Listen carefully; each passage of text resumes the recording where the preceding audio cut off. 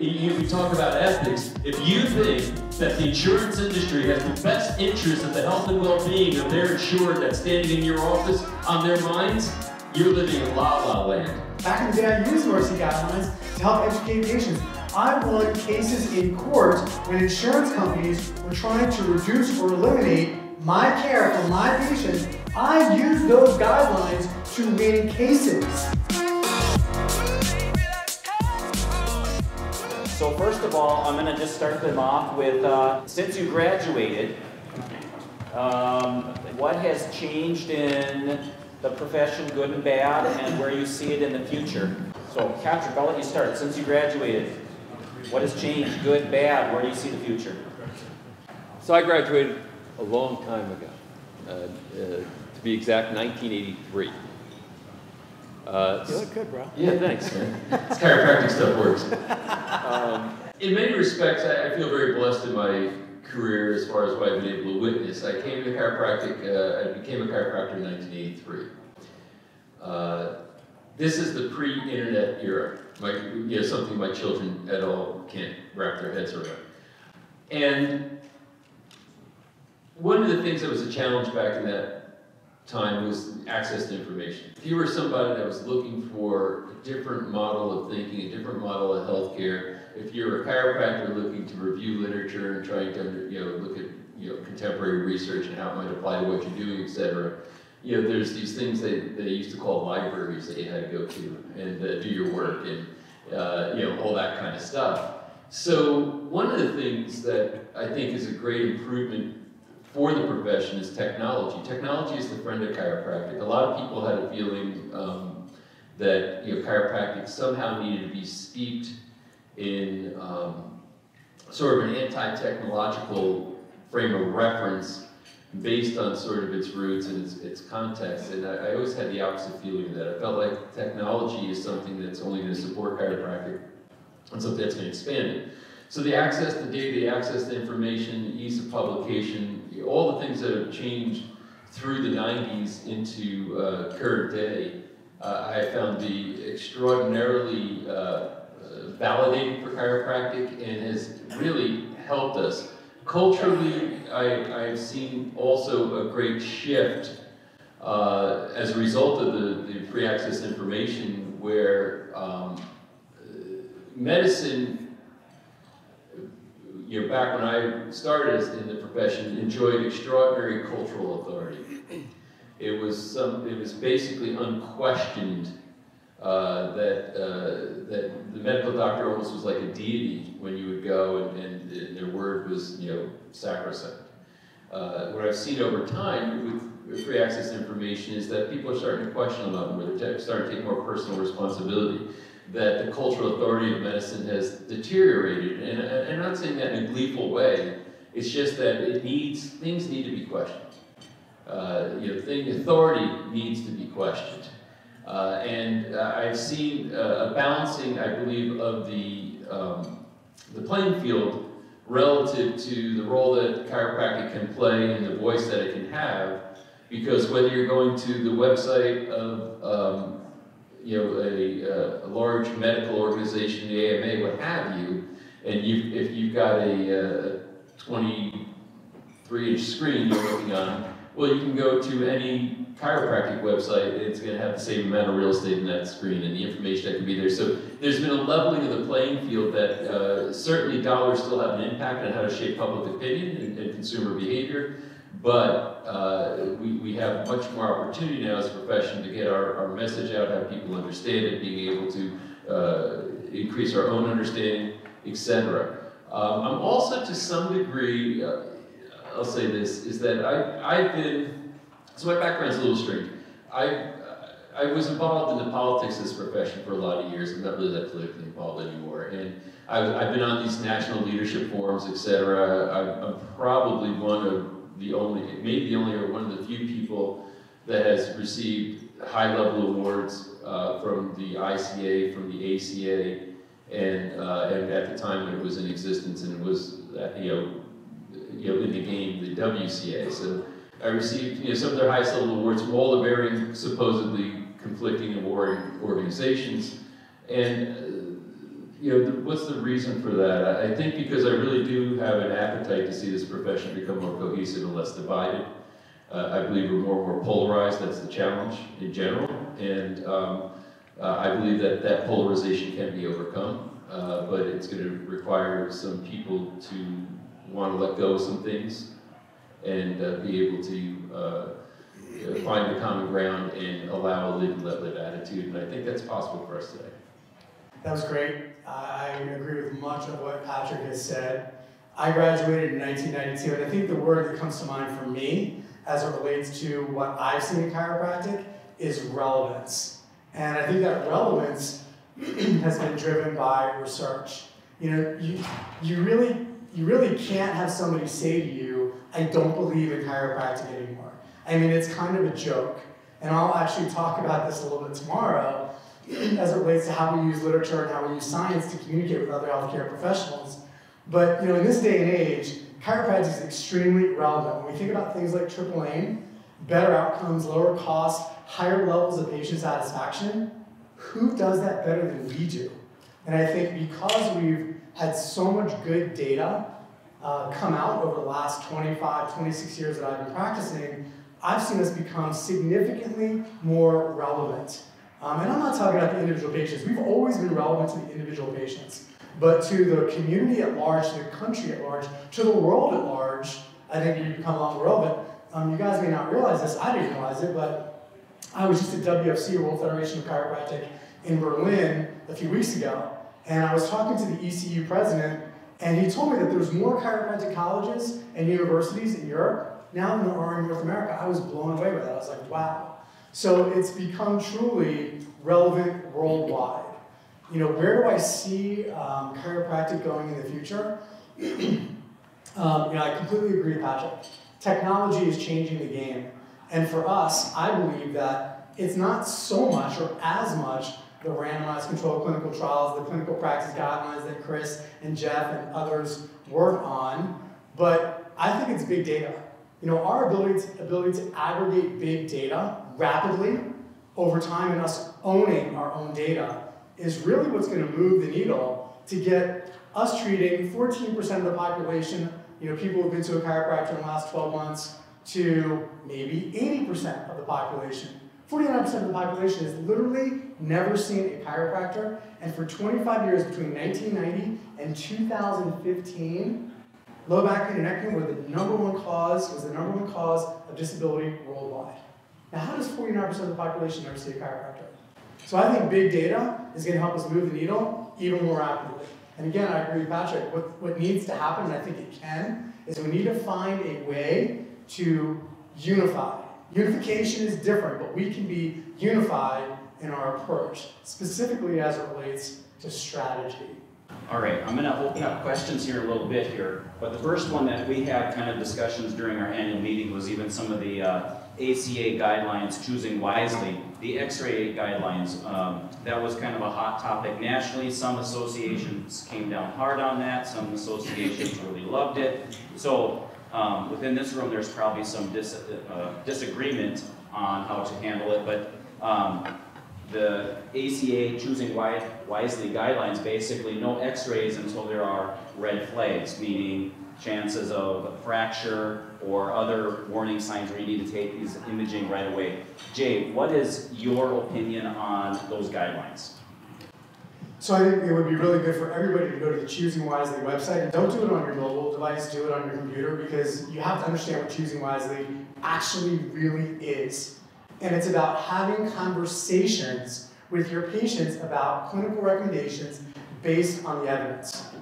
All that being said, and full disclosure, as chairman of the Clinical Compass, I and our board voted to approve the Choosing Wisely guidelines um, on behalf of, I don't know if it's on behalf of the ACA, but in support of these guidelines. But here's what I would offer each one of you as far as my opinion is concerned.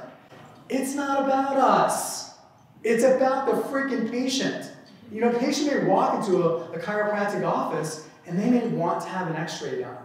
And at the end of the day, evidence-based practice is patient values, the best available evidence, and, and clinician knowledge.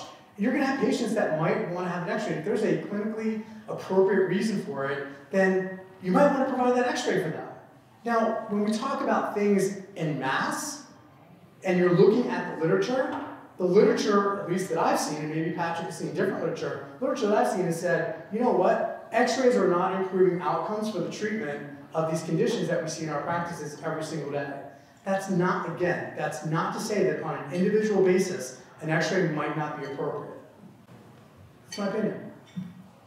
Yeah, I think really the question here is, you know, what do we think of the guidelines, or what do I think of the guidelines? Um, to me, they're not a chiropractic guideline. It's an orthopedic guideline. Um, so it's, it's not really something that pertains to uh, my view or version of chiropractic, which is the assessment of subluxation. Um, these guidelines are directed towards orthopedic conditions. So if your practice, and I don't have an ethical problem if a chiropractor chooses to limit their practice to back and neck pain, and that's the purpose of what they're doing, and that's really the question. Guidelines are for specific purposes. What, what is the clinical objective? So if you were to say, these are orthopedic guidelines for the treatment of, or limited scope treatment of musculoskeletal pain, I'd say they might make sense there as long as it allows discretion of the practitioner, which I think to some degree they do. If you were to say um, these guidelines are broadly applicable to the practice of chiropractic, then I would say that I would, I would you violently disagree because uh, I'm an upper cervical chiropractor. There's absolutely no way for me to correct an atlas in the style that I do it without a radiograph. So what's the clinical objective is the question. You know, what Jay cited is that, um, you know, for outcomes, they don't impact outcomes, etc. The question is, what outcomes are you determining? I see the opposite is true in subluxation correction. If you're looking at saying, okay, somebody comes in with low back pain, you do your standard physical examination, the standard orthopedic neurological packages, and then you'd say, would an x-ray modify the treatment plan and have an impact on the outcome? And I think based on the literature review that they did relative to this, uh, some people concluded, no, it really doesn't. So then it's 100% appropriate at that point in time. However, if your outcome is correction of spinal alignment through the adjustment, you, for many techniques, you have no other way to know but to take a post-radiograph. If you look at the validity of spinal alignment, uh, spinal mensuration, etc., um, probably the most published guy in our profession is Deed Harrison.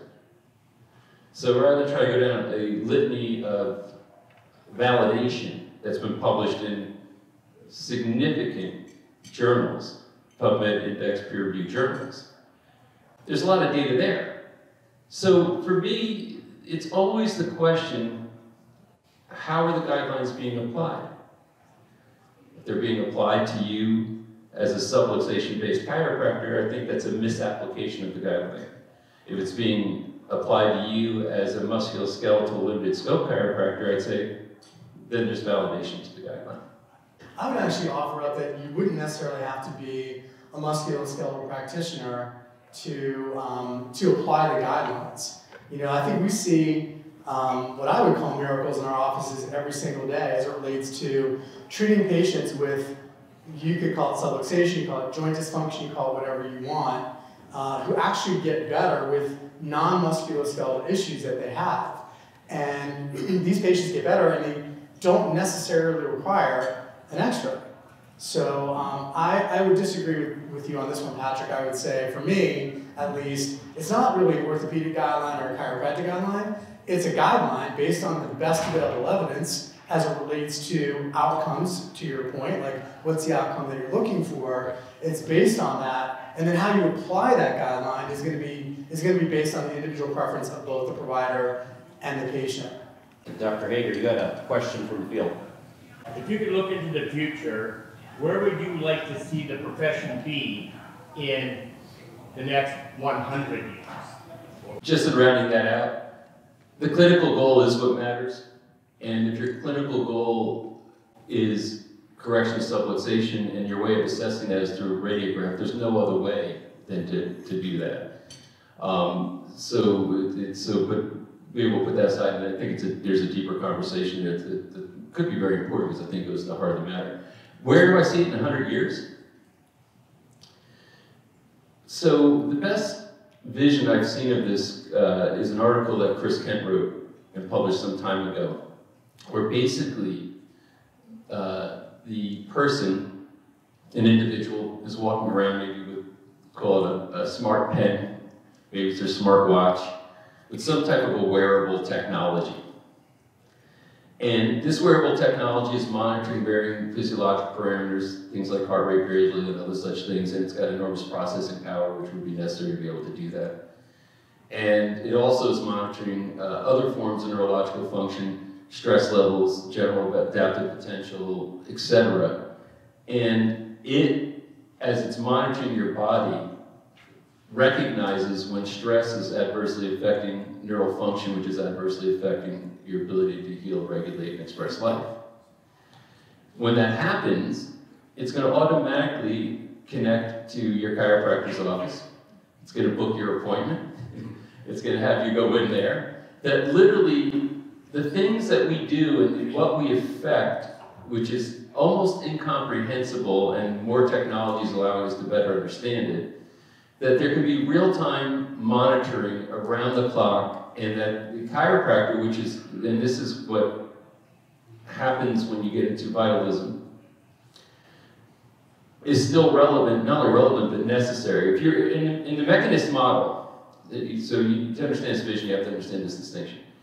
In the mechanist model, you're going to see as AI is improving right now, surgeons, lawyers, so many people are going to go away as far as um, their need in society. When, especially when AI robots can start replicating themselves, uh, there, you know, there's a whole conversation there, but it's just, it's to be seismic in the shift. And humans actually performing functions, and you're talking 100 years, so we're going out, way out there.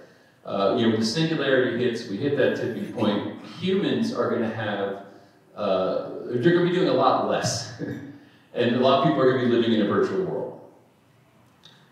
Why would a chiropractor still be necessary? Why couldn't we just have a robot that can create the impulses? Because the role of consciousness and the interaction of the consciousness of the patient with the consciousness of the chiropractor, with a force with intention that's applied in a constructive way and is received by the body in a certain way, cannot be replaced by a machine. I can demonstrate this, I've measured it, it's, it's, it's all, it's, it's real. So 100 years from now, chiropractors are going to still need to be humans. And they're going to, and technology is going to allow the monitoring of, uh, of human physiology in a way that's going to automate the process of people getting care. Um, and uh, to me, it's, it, the future is really exciting. And 100 years from now, almost unimaginable. So I love, dude, that you're talking about AI and robots. it's awesome. because he's right. Um, our, our universe is literally moving in that direction, and it's moving faster than any of us can imagine.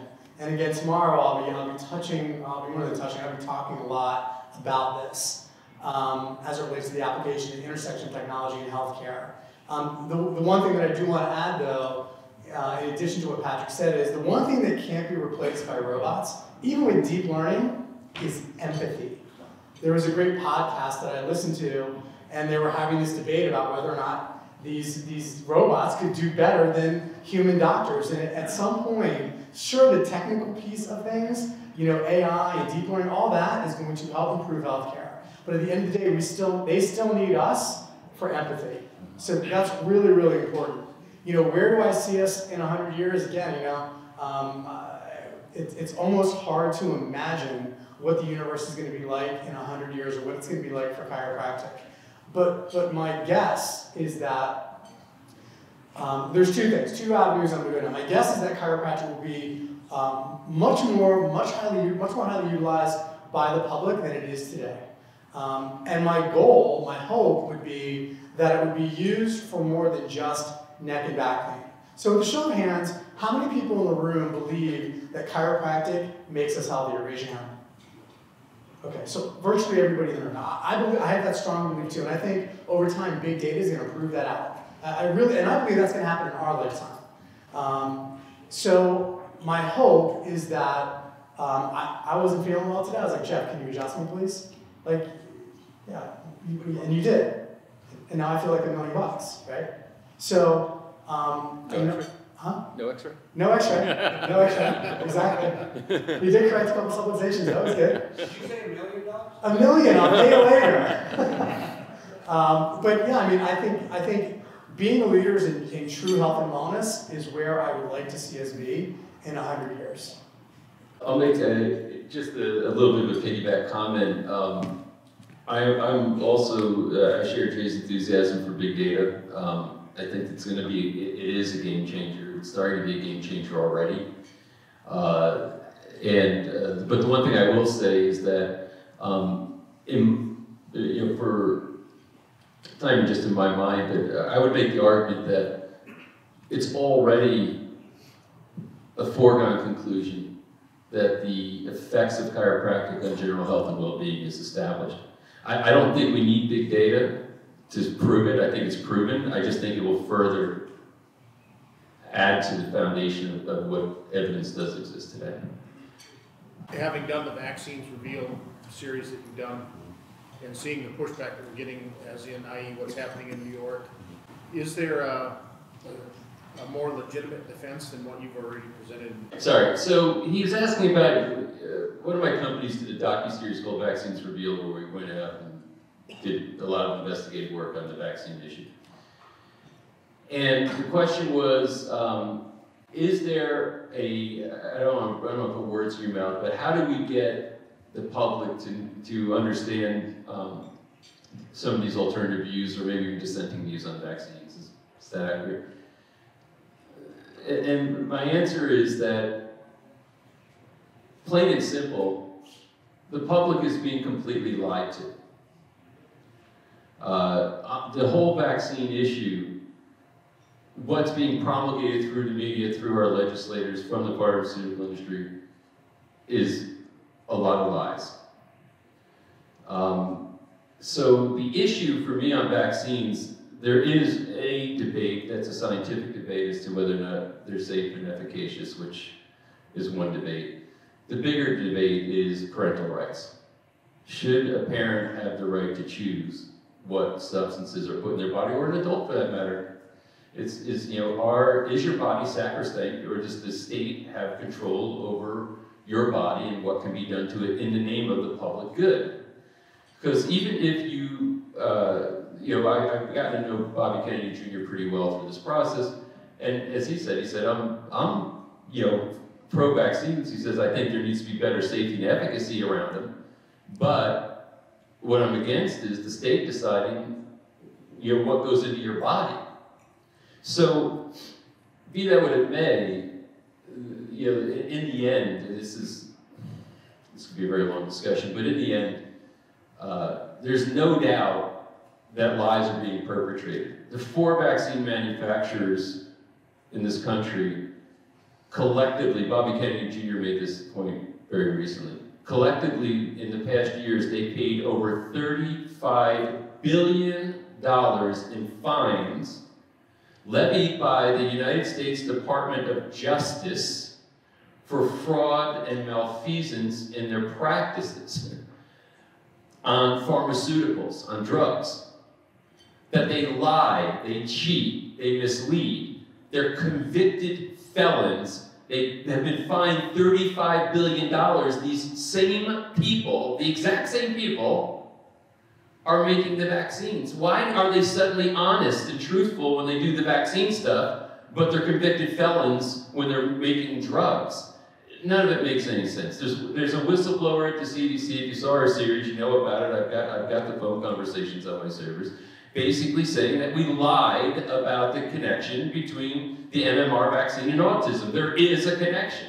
The vaccine court has paid out damages to kids who, who uh, became autistic as a result of vaccines, et cetera, et cetera, et cetera. So what you're hearing and what's being promulgated is a bunch of lies from a very, very, very powerful lobby that has control in, in these vaccines, vaccine manufacturers. But here's what's not debatable. There is a risk with vaccines. The only debate is how much risk. There is high level disagreement amongst experts about safety and efficacy. Nobody can debate that. That's a fact. So now the question is, if there's a risk, and if high-level experts disagree on safety and efficacy, should the, should the state force a parent against their own conscience to put these substances into their kids' bodies? I think you should drop the mic right now, brother. That was really good. I actually wanted to hear more. That was pretty cool. Thank you. Because I mean, I, I don't have any expertise on vaccines, so um, it's great to have that information. I'll tell you guys got excited about big data. How do we keep it from only Apple, only Google, and United Health, which just to ignore their data? So I'm happy to, to take that one. When we, we work with specific technology partners in our region, you guys know who Infinity is? Okay, it's a clearinghouse, and they manage all of our claims data. But we had an issue, and again, I'll talk more about this um, tomorrow. We had an issue related to these inappropriate reductions in reimbursement from our largest payer. Well, because we had our own data, because we, as a three-state association independent physician network, had our own data, we now can go back to, and we did go back to, and we're going to go back again to this payer and explain to them the amount of variation in our payments. When they implemented this particular payment reduction model, we went from an average variation from 1 to 3% to 26 to 31% variation in our payments. And you can see it started July 1, 2018. So the point is, is that we must own our own data. It's not, it's not good enough that Dave Elton can stand up in front of the National Academy of Sciences, and if Dave, if you're watching this, hi, um, that it's okay for him to be able to stand up with our data and make all these great recommendations around chiropractic. That's great, but he owns the data. And if we said, can we look at our data? Can we get more information about it? Can we use that data to go out and talk to employer groups or this or that or legislators? We don't own that data, and we can't. We can't have those conversations. So ultimately, it has to be us owning the data. The way that we do that is through relationships with data companies like Infinity. There's others out there. Infinity happens to be a really good one. One, one more quick comment on that is, uh, I'm excited uh, for Jay's drive on the data side because uh, data doesn't scare me. The data I know is going to be really favorable for us. Uh, I know that with uh, CLA, when, when we were running it, uh, we introduced heart rate variability into the profession. We used the data from the American Heart Association as far as what norms were relative to heart rate variability and the parameters. Um, it didn't take long, and this is before we had data access like there is now. It didn't take long before we had on our servers much more data than the American Heart Association had, and we're able to create our own data, you know, from that. And you watch it emerge and refine and get better, and it's it's a very very exciting thing. And when they start comparing chiropractic populations of people versus non-chiropractic populations of people, and we have big data to show it, people are literally going to be stunned. Can I add something really quick? So two, two other things, um, because you just stimulated a thought in my brain. So the great thing about Brad Cost, who's the CEO of Infinity and Infinity, is that they've got um, many, many, many tens of thousands of medical doctors as part of their as part of their clearinghouse, and they've got ACOs, uh, Medicare ACOs, all kinds of ACOs, and and they looked at the portal of entry for a patient who got into the right portal of entry for chiropractic and the wrong portal of entry for medicine, and they found that like one or two clinical decisions made a difference in um, in cost savings of billions, with a B, of dollars. So having access to that information is really, really critical. The second thing I want to say is also your electronic health records. So we have a mutual friend we are just talking about. His name is Dr. Brian Capper. He runs a company called Genesis. He's not my sponsor this weekend, neither is Brad. So full disclosure. But he's a good friend of ours. And, um, and so he runs this company, Genesis. It's a cloud-based electronic health record system. And because I have a research foundation, so we run clinical trials in our practices, I asked them to go back and rebuild the system so that we could literally aggregate any data point that we wanted. And they did that. Like we're in the final stages, we're like 80 to 90% of the way done. So when that's done, all of the providers on the Genesis Nation network, we're now going to be able to aggregate that data in real time. And it's any piece of data. It's clinical data, it's demographic data, and it's also cost data. So we can address really the three legs of the triple aim stool. What do you think the biggest problem that chiropractic has right now? Um, I think the biggest problem that the chiropractic, that the chiropractic profession has right now is um, some of the old guard kind of stuck in their dogma. Um, there's a great book um, called Dream Teams by a guy named Shane Snow, and he talks about the importance of cognitive friction, the ability for people to have different thoughts and different ideas, because ultimately, to create a dream team, and I would consider us a team, to create a dream team, you need diversity of thought. But I think what happens in our profession is people, they become anchors in their own dogma, in their own opinions, and they're not really willing to listen to others to get our profession to where really its rightful place where it needs to be. And I could give you like many examples of that, as I'm sure Patrick could, but that's what I think. I think the biggest challenge is um, loss of chiropractic identity. Um, what makes us separate and distinct, which in my mind are the foundational principles of chiropractic. Uh, if if chiropractic, when I, I testified from the White House Commission on Complementary Alternative Medicine, and, and the, the basic theme of my testimony was chiropractic is not a modality meaning spinal manipulation, because people equate spinal manipulation with chiropractic. Some of the stroke, anti, you know, chiropractic stroke stuff that was published saying chiropractic manipulations cause stroke. Then they had a review of 31 cases. I think it was 31, I might be off on the number. Um, it's been a while, but do you know how many of those cases were actually chiropractic patients? Zero. They were manipulated. None of them were chiropractic. I, one of the things that, that um, for, and so the loss of identity comes from this, number one, loss of principles, which I believe are not being taught in many of the schools right now. Number two, um, lexicon. So to me, and, and yeah, this is area Jay and I probably see a little differently, but segmental dysfunction, subluxation, uh, manipulable lesion, these are not the same things. A segmental dysfunction and subluxation to me are radically different things. There's a radical difference between a manipulation and an adjustment. They're not the same thing. Now, if we amalgamate and say, oh, these are you know, they're just interchangeable terms for interprofessional dialogue, then we've lost our identity. So what's the difference between a physical therapist that manipulates the spine and a chiropractor if the intention is just the amelioration of symptoms? So the biggest threat to the profession is its loss of identity because it doesn't do anything unique anymore. That's in, in my opinion. And I don't have, and say, like I said, I have zero, I'm a live and let live guy. If chiropractors want to use the term manipulation and they want to use the term uh, you know, segmental dysfunction and they're more orthopedic in their orientation, then that's fine. But at the same time, do not try to legislate my mode of practice out of existence. So I think from the educational side and from the lexicon side, those are, those are the areas that are big, our biggest threats. You got a question? Do you know what the current usage of chiropractic is in the American population? The last Gallup poll said 14% of the population had been to a chiropractor in the last 12 months. 49% of the population has never seen a chiropractor. Don't you think that's our main focus as chiropractors, is getting the majority of the population under chiropractic care, because then our work would speak for itself? We can't handle it. We don't have the capacity.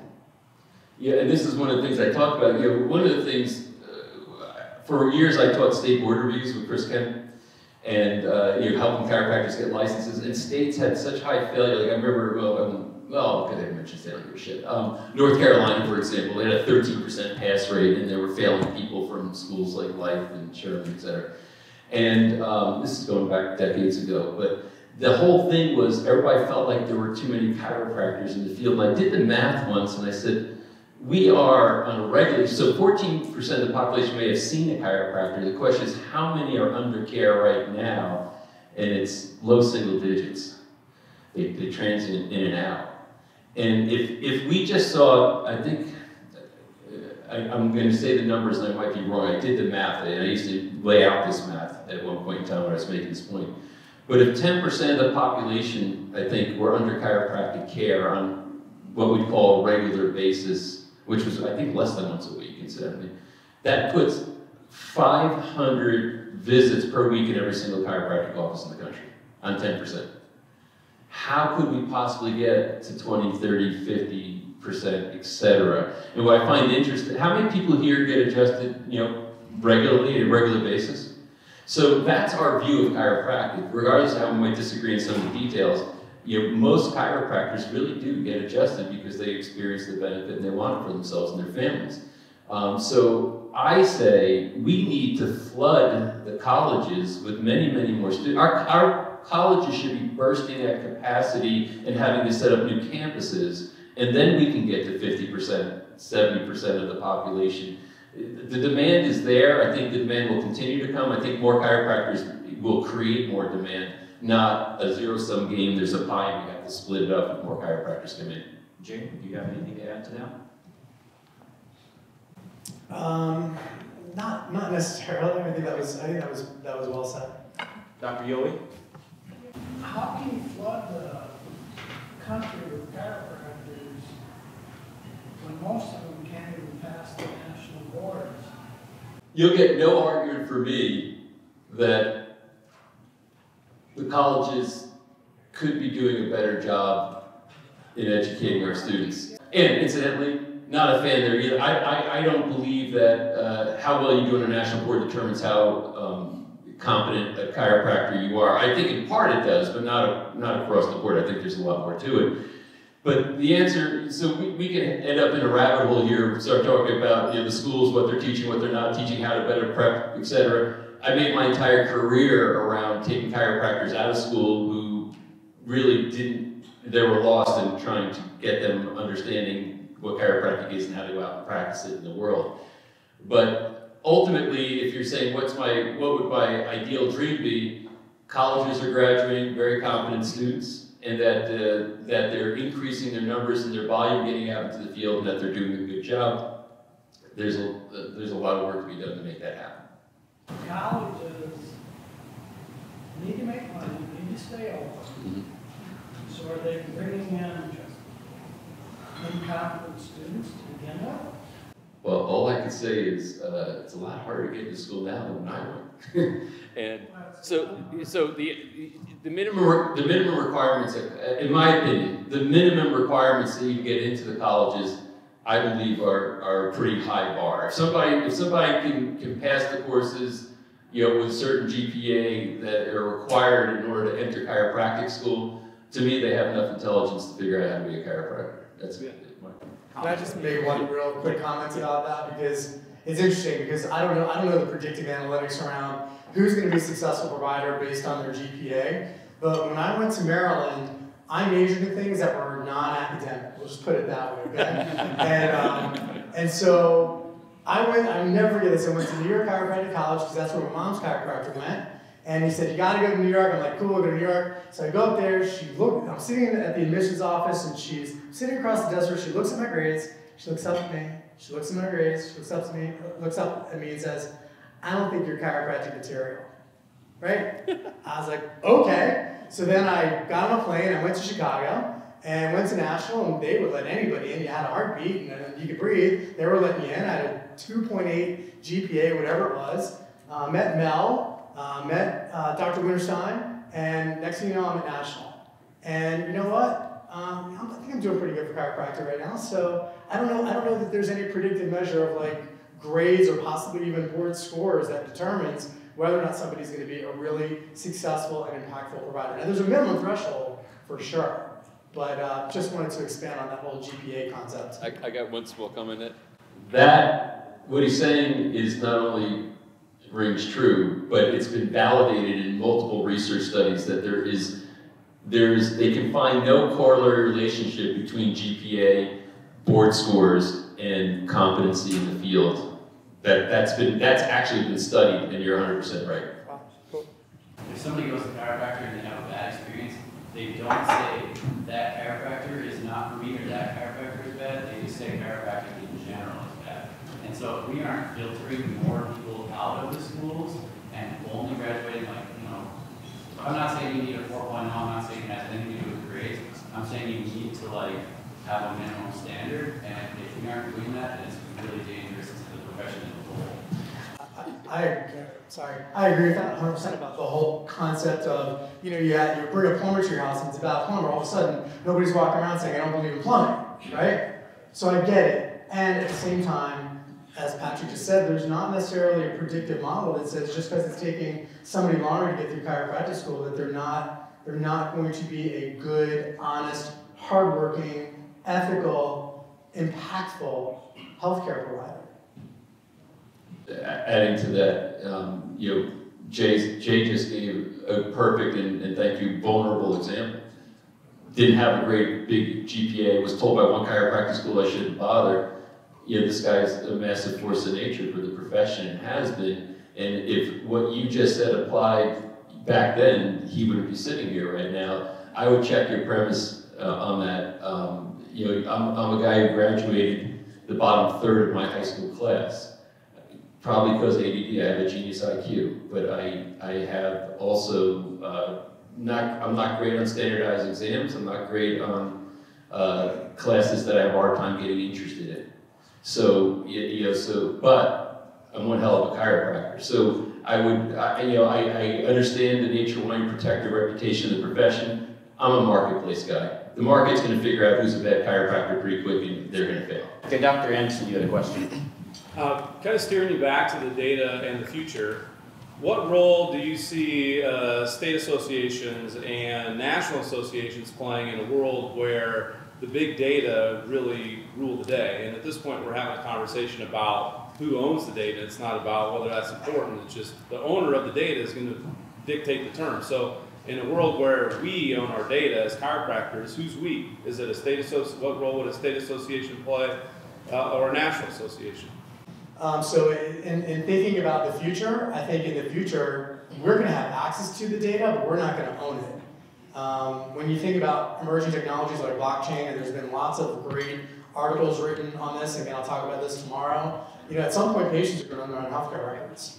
Um, so we'll, we'll have, we'll have great access to that information, we'll have access through our, through, through electronic health record systems, we'll have access through clearinghouses, but I don't think it's the state associations position to own that information. Um, so the role, I think, for state associations is to take that data and to be great advocates of it. So how do you go to your state legislators? How do you lobby to Congress? How do you put out appropriate public relations and marketing campaigns to help more people understand the benefits of chiropractic? I think that's the role of state and national associations. State national associations are trade organizations, right? They're there to represent the interests of, of the profession. State boards are regulators. That's a, they're, they're a, a different animal altogether. And sometimes there might be a natural tension uh, between a state board and a state association, for example. Um, you know, I, I, uh, I grew up in the People's Republic of New Jersey, right? And one one of the things that we had to accomplish there is that we had six different state associations in one state, which shows you the, the fractured nature of chiropractic. But what we did successfully is we were able to amalgamate into one. And it took a lot of work, it's a lot of strain, and we got there. So now I'm trying to represent the interests of the profession. And one, what's one of the hardest things to agree on, folks? What are the interests of the profession? Right?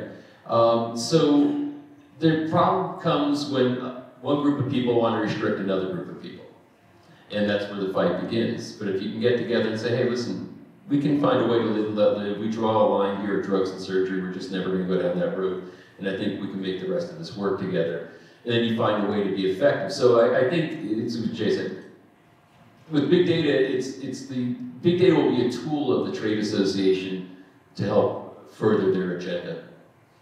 Um, and as far as the regulators are concerned, um, you know, I've been, I've been a very outspoken critic very often of many of the chiropractic state boards. There's no national, uh, you know, we, we don't have a federal board for licensure. We have to have licensure in all 50 states.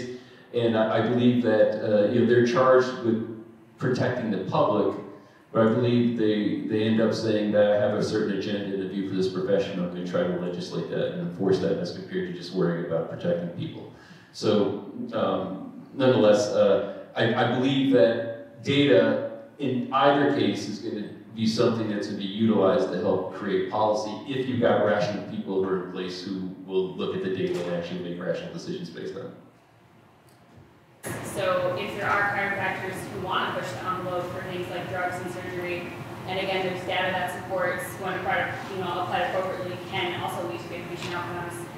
Don't you think that using chiropractic in reverse also an attempt to tell everyone else not to do that? I guess a part of the profession is obviously we need unifying, we need to define what we're doing and where we're going. But like, for example, in the state of North Dakota, chiropractors function here in a lot of as people's primary care.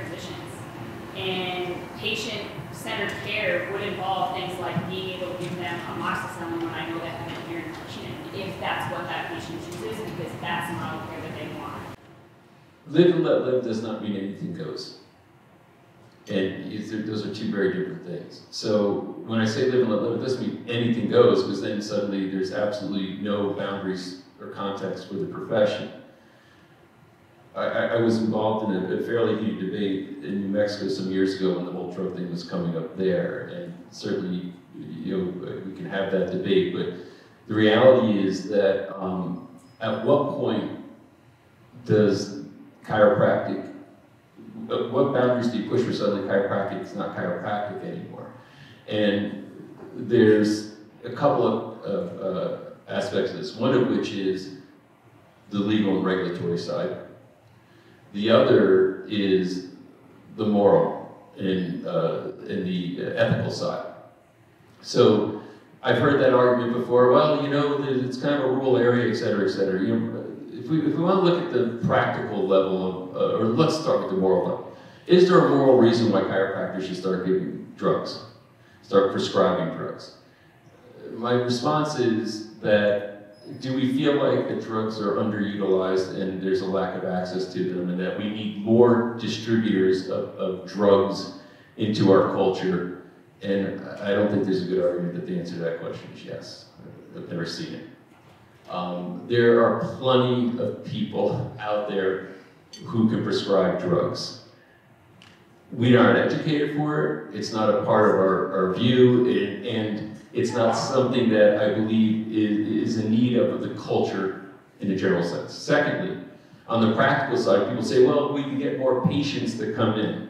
I run several multi-million dollar companies and I hire experts that come in to say, how can we grow our business? How can we increase market share? You know, the answer I get, the first thing I get back from every single one of them, what can you do to show your difference, your distinction? What makes you different? You don't go to a marketplace and try to get more people to come to you by trying to show your sameness. Well, I can give you drugs too. Now, I'm not, I'm not as well qualified, I'm not as well trained, I don't have near the experience, and these things might kill you, but I can give them to you too. So there, there's not a moral or practical argument for chiropractors to do drugs or surgery, and if somebody wants to do drugs or surgery, there's a profession for that called medicine, and that should be the, the profession that you go into. Chiropractor need, chiropractic needs to keep its distinction as a drug-free mode of healthcare. So as soon as you lose that, then you've, you've really gone off the cliff of identity, and there's no reason for us to exist anymore. I just want to say one thing. I literally could not agree more. You know, you look at some of the, the, the leading experts in competitive strategy, a guy named Michael Porter out of Harvard, and you know, he talks about, you know, differentiation is the key to success. So the idea that we would do something that is the same as another healthcare uh, profession, which by the way has not been shown to be very effective, out of 11 industrialized nations, we have the highest costs and the worst healthcare. So maybe we need to think about this whole thing differently. So like the idea that drugs and chiropractic are, are, are oh, is okay is like completely mind blowing to me. I don't understand it at all. And, and I agree, like, yeah, there's maybe there's access issues in rural areas, but there's other people out there that can prescribe drugs, and if you want to prescribe drugs, drugs, go to medical school, be a nurse practitioner, great, you do that. But it's not chiropractic. And go just a little bit longer before we finish up. Um, the biggest um, question that I had from several other people, and they weren't, they didn't uh, ask it out loud. Wellness care. What's your definition of wellness care? And uh, getting patients to do wellness care. So there is a scientific definition, definition for wellness care. There was a paper that was created by Clinical Compass It's called the terminology paper. Um, wellness care is for patients that are asymptomatic, that feel good, that come in because they want chiropractic to help them stay well. That's different than supportive care where you're delivering care to patients where their condition will deteriorate if they don't receive chiropractic care. Those two things are different. so my position on wellness care is yes. Do it. Yes, I believe in it. Yes, it's good for you. Yes. So we're, we're in violent agreement here. Um, the, there is a difference between wellness, maintenance, supportive care. These are, these are characterizations that are used. Um, wellness, one, one of the companies that I was involved with was called Creating Wellness. We put 300, I think, uh, lifestyle-based wellness centers. We've got patented technology to measure parameters, wellness, et cetera. Um, wellness care is something that's more proactive in nature. As a matter of fact, I believe somebody could have a serious disease, but still engage in lifestyle wellness protocols. Even if it's, and not to treat their disease, somebody's got cancer, can they detox, can they get adjusted, can they do different things that, um, that isn't necessarily a direct treatment for their cancer, but supportive for their body, or it's, it's, it's moving them towards wellness. If you look at, there's an illness and wellness continuum, right? You got wellness on one side, you got illness on the other side. Right now, every single person in this room and every single person in your community is either moving toward illness and away from wellness, or they're moving towards wellness and away from illness. And if you had to be completely honest with yourself right now, which way do you think you're moving? And if you were to ask the same to your patients, which way do they think they're moving? So the idea of, of care that's directed toward the improvement of general health and well-being or life expression is something that's been demonstrable through chiropractic services. So wellness care is, um, is you know, I think the ultimate goal for chiropractic and for chiropractic patients. Uh, so, uh, so anyway, so there's and it's something that's measurable. Outcomes can be measured. There's, there's parameters around it to say, are you you don't have an active condition, as Jay cited, but you you there are parameters to say that you're still getting healthier. You're moving toward wellness and away from illness. There's ways that you can measure that stuff.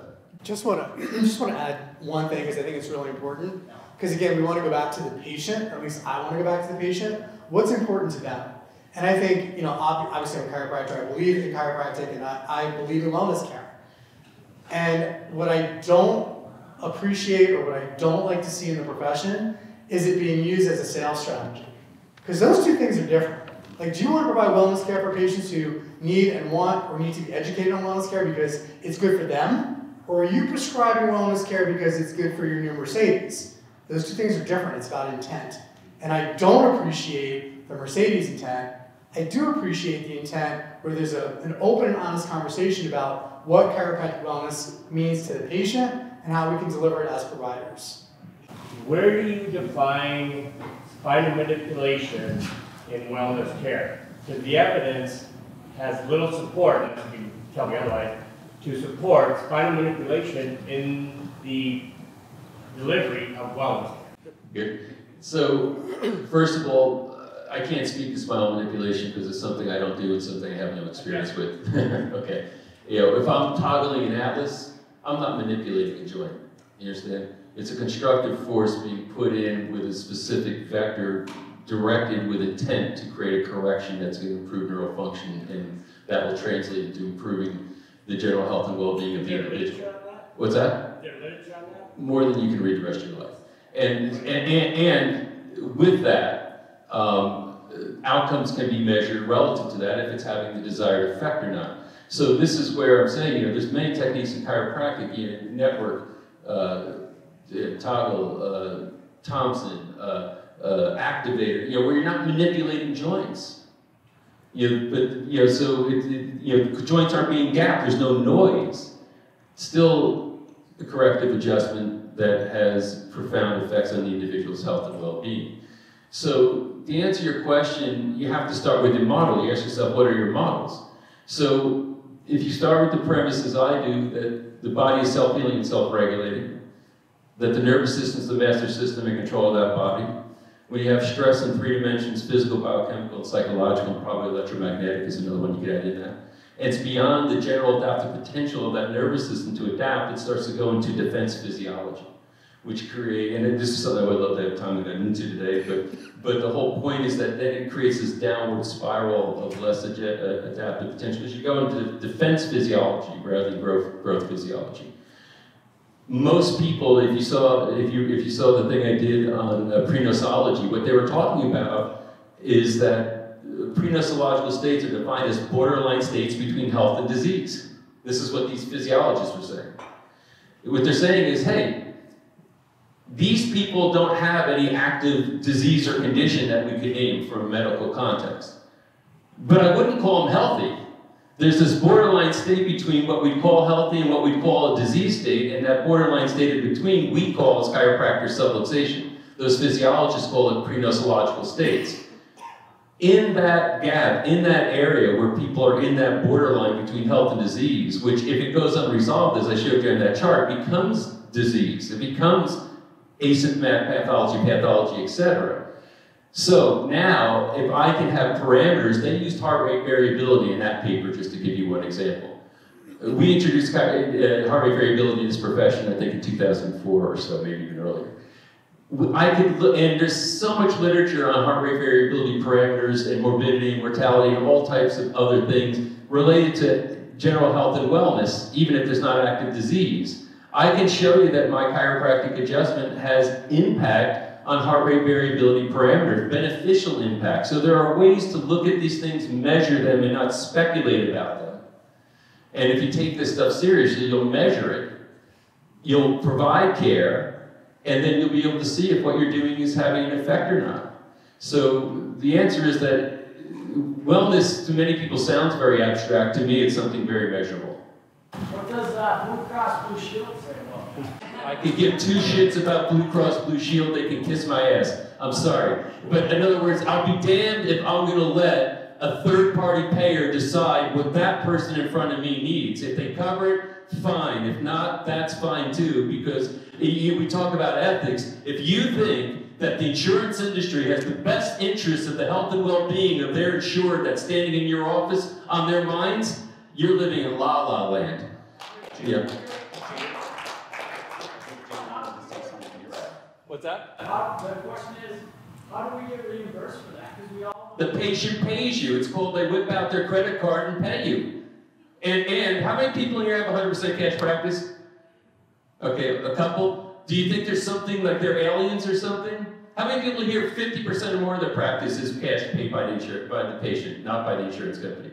Right? And this is unusual because today, it, it, more and more, all I can say is if you're in a practice and you're dependent on third party pay, there's not much of a future for you. How many patients want their health care to be paid through a health insurance like a social government?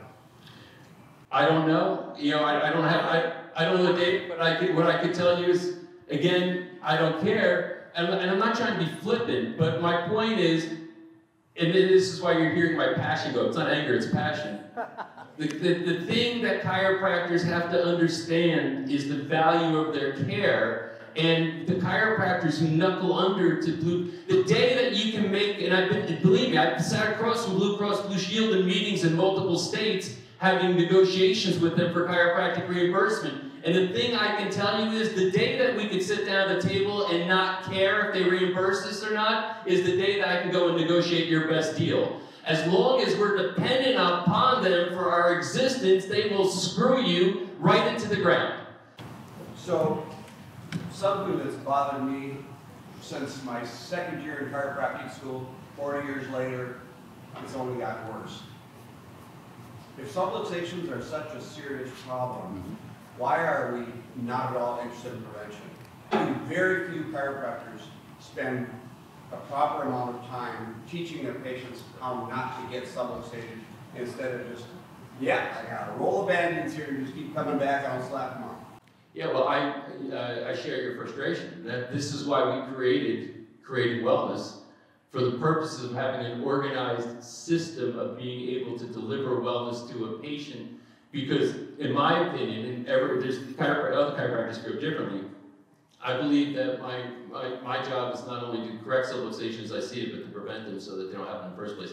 The, the, the, the moral mandate for any noble profession is to make itself obsolete. What I want to do, I don't want to create chiropractic dependency in my patients. I want to create health freedom. I want them to take responsibility for their health and need me as little as possible. So I'm right there with you. Yeah, I think the, the best prevention is the appropriate treatment. If you deliver great care to your patients, most likely it, it shouldn't come back. Now, there's chronic pain patients, and that's a whole other story, but I think the first step for us as chiropractors is to, is to deliver the best and most appropriate treatment for our patients. And that's the first step in prevention. Yeah? What is the appropriate treatment for wellness care? Patient walking Well, not everybody's the same, so I would never recommend the same wellness care model for every single patient. I'd be having a conversation with them about their needs, their values, what they're trying to accomplish with their health, and then take it from there. I have patients, so I don't see patients anymore, but I have patients that I saw once a week. I had patients. He muted me. I have patients that I saw once every six months. And so it really depends. You know, I had athletes that I saw only before competition. So it just depended on the individual patient.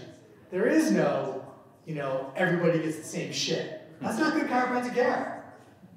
Yeah, I couldn't agree more. It's there's there's this is the problem where people and, and, and incidentally this is the problem with guidelines. As you can tell, I'm not a big guideline fan.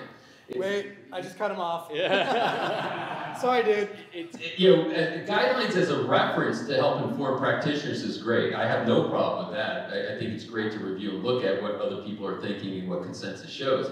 But guidelines as mandated through regulation is something that I fight against. I want you with a brain and with the patient to decide what they need, not some other people who aren't there with you right now. So I, I should clarify. So I, I, I like expert opinion, sure, publish them, take a look at them. But when they took things like the Mercy guideline to screw chiropractors, when they take guidelines in, and you're in court because you get some kind of adverse action against you, and they say, well, according to these guidelines, blah, blah, blah, blah, blah, and you didn't follow them, therefore you're not within the standard of care, that's a very dangerous thing. But what Jay says 100% accurate it's not like, oh, there's, there's one protocol for people who are asymptomatic. Asymptomatic people have what? High blood pressure, they got cancer, they got all kinds of things. They might not be symptomatic. It's a matter of the assessment and then tailoring a plan based on your findings and what the patient wants. You know, they, they play a role. To me, the truth will do. It's not like this is all you have. It's basically saying, I love what Russ Rosemary teaches, the first thing I would tell a patient to report findings is number, you know, when I'm about to present options is number one, Mrs. Jones, your first option is you can do nothing. That is an option, right? To do nothing. And I want to know that's one of their options. You might, I'm going to lay some stuff out here. You might decide to do nothing. That's one of your options. Your second option is we can do this sort of care, and here's the expected outcomes. Your third option is et cetera, et cetera. But that's, that's on a patient by patient basis. There's no one to say that there's one size that fits all. So as it relates to guidelines, I think that's where the, the uh, many times the misinterpretation comes into play. Guidelines are not to be utilized to tell every doctor what to do with every single patient. It's a guide.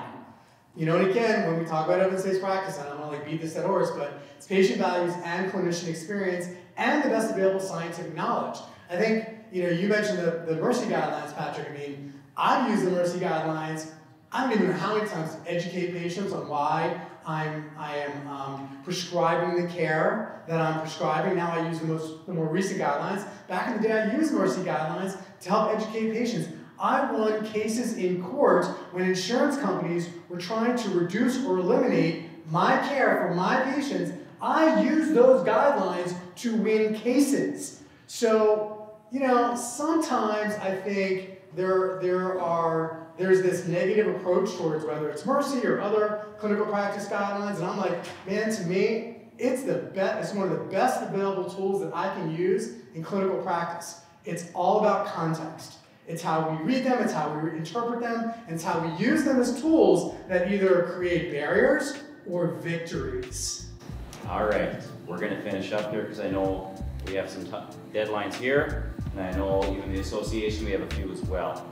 So I want to thank both of you for sharing your opinions, your ideas. Um, thank you, the attendees, to sharing some thoughts and questions. Wonderful time.